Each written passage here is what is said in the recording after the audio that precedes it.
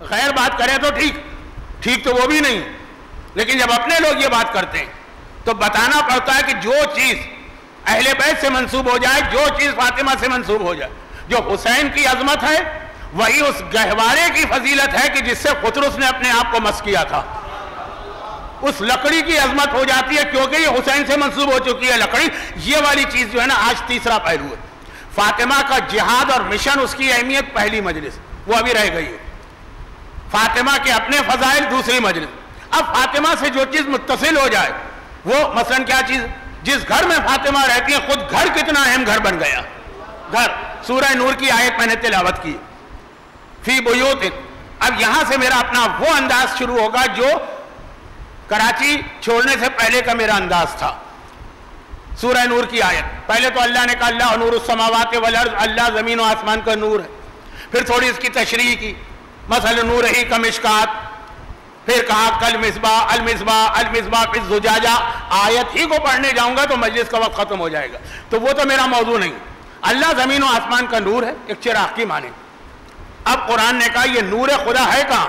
फ़ी बुयूत। ऐसे घरों में आजेन अल्लाह घरों में। अब अगर इतनी बात कहे कि अल्लाह खामोश हो जाता तो हर आदमी अपने घर को सामने रखता, ये वो घर। कुरान ने उस घर की चार खासियतें बताई। कहा, अजन अल्लाह अंतरफा पहली उस घर की पहचान यह है कि अल्लाह ने यह हुक्म दिया है कि उस घर को बुलंद किया जाए। वो अजीम तरीन घर है तुरफा बुलंद किया जाए, पहली बात। युस करो फ़ी इसमल्ला और उसमें ज़िक्र खुदा, उसमें अल्लाह का ज़िक्र होता फ़ी बुयूत इन अजन अल्लाह अंतरफा व युस करा फ़ी हसम। इस घर की दूसरी पहचान यह कि इसमें ज़िक्र खुदा होता है। गाने के कैसेट नहीं चलते बेहुदा फ़िल्में नहीं देखी जाती। यूट्यूब के ऊपर और व्हाट्सएप के ऊपर वलगर किस्म के मैटर को नहीं देखा जाता। घर की दूसरी खासियत यह कि इसमें ज़िक्र खुदा होता। इस घर की तीसरी खासियत ये, खाली तर्जमा कर रहा हूँ, अगर तफसीर में जाऊँगा तो माह रमज़ान की पाँच तकरीरें चाहिए। असल मंजिल कोई और है, जहाँ पे आपको ले जाना। कौन सा मसला? अगर जमाने के इमाम आ गए तो ऐसा ना हो कि हम ही उनके लिए मसला बन जाए। वहाँ तक पहुंचाना है आपको तो सुनिए पहले आयत का तर्जमा। वह युस करो फ़ी हस्म। और उसमें अल्लाह का नाम लिया जाता। फ़ी बुयुतन अजल्लाह अंतुरफा व युस फ़ी हस्म और फिर कुरान करी ये सब बेहू बेहूफिया बिलखुदूब वाल आसाल, तीसरी खासियत बता रहा। ये वो घर है जिसमें हर खुदू और आसाल, सुबह शाम, मॉर्निंग एंड इवनिंग, अल्लाह की पाकिजगी और तस्वीर बयान की जाती है। रिजालुन। और आखिरी, बस ये है हमारा आपका मौजू। रिजालुन। और इस घर की चौथी खासियत यह है कि इसमें कुछ ऐसे लोग रहते हैं। चार बातें। देखो बलन घर कौन सा है? वो कौन सा घर है जहाँ हर वक्त ज़िक्र खुदा होता है? वो घर कौन सा है जहाँ हर वक्त अल्लाह की पाकिजगी बयान होती है? वो घर कौन सा है? जहाँ पे वो लोग पाए जाते हैं। वो लोग। वो अभी आ रही है तशरी क्योंकि मैं यहाँ से मौजू बदलने जा रहा हूँ तो सिर्फ़ यहाँ रुक जाऊँ। कुरान ने चार पहचान बताई। चार पहचान बताएँ। और आप ये वो हदीस सुन लीजिए जो हमारी मशहूर तरीन तफसीर मजमल बयान में अल्लामा तबरसी ने नकल की है इसी आयत में। मैं बहुत टाइम बचाने के लिए बहुत सी चीज़ें हदीस के हवाले और उसके रावी छोड़ रहा हूँ। अल्लाह के रसूल मस्जिद नबवी के मिंबर पर बैठे हैं और ये आयत तिलावत कर रहे हैं कि अल्लाह का नूर, अल्लाह नूर समावात उस घर में है जिसको अल्लाह ने बुलंद किया। और फिर वहाँ पे वो जुमला आता है जो कल की, जो कल मजलिस हो गई, उससे मुताल्ल का ये घर इतना बुलंद कि इस घर के हवाले से जो दुआ मांगोगे, फ़ौरन बुलंद हो जाएगी। भाई घर बुलंद है तो वहाँ जो चीज़ रखी जाएगी, वो भी तो बुलंद हो जाएगी ना? अगर आपका घर न्यूयॉर्क के ऐसे अपार्टमेंट में है जो, या तो दुबई में भी, जो पिछहत्तरवीं मंजिल पर है तो वहाँ जो चीज़ आप रखेंगे, वो चीज़ भी खुद ब खुद पिछहत्तरवीं मंजिल पर पहुँच जाएगी।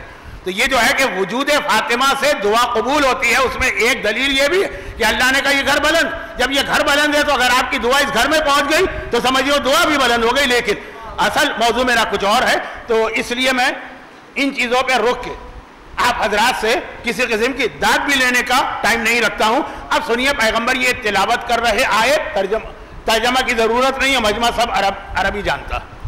तो एक मरतबा मजमे में किसी ने पूछा कि या रसूल अल्लाह जो ये घर है कौन? अल्लाह ने खासियत तो बता दी, लेकिन है कौन? फरमाया हम बुयूतुल अम्बिया वल औसिया। वो अम्बिया के और औसिया के घर है। वली ठीक है।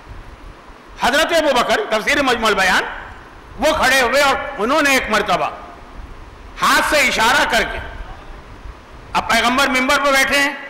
हुजरा फातिमा किधर होगा? नहीं, इधर होगा, इधर। जो मस्जिद नबवी में गए ना, मिंबर पे अगर कोई बैठे, मेरे जहन में कंफ्यूजन आ गया कि अगर कोई मिंबर की तरफ़ रुख करके बैठे, जैसे आप बैठे तो इधर मेरा हाथ चला गया। नहीं, मिंबर पे बैठे जी, ये हुजरा फातिमा। इतना ही फासला भी होगा जैसे यहाँ से इस दरवाजे का। हज़रत अबू बकर ने इशारा किया और कहा कि, या रसूल अल्लाह क्या ये घर भी इसमें शामिल है? जो आपने कहा ना, कि वो बुलंद घर जिनकी कुरान तारीफ़ भी कर रहा है, ये कह रहा है, उसमें नूर है अल्लाह का। तो वो अंबिया और ओसिया के घर तो क्या ये घर उसमें शामिल है?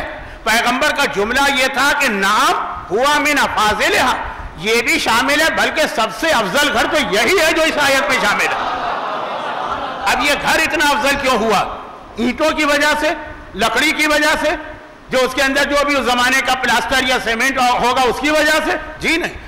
वजूद सैदा की वजह से कहा, ये अंबिया के घर से अफजल हो गया यह औसिया के घर से अफजल हो गया, नाम हुआ मिन अफाजिल यह सबसे अफजल घर है इस कायनात में सैदा के वजूद की वजह से। तो कुरान ने सैदा का भी कसीदा पढ़ा सैदा के घर का भी कसीदा पढ़ा।